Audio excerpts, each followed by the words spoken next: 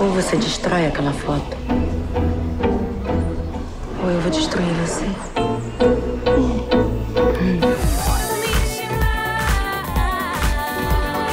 Tô péssima. Acredito que eu desperdicei minha chance. Acho que eu perdi o trabalho.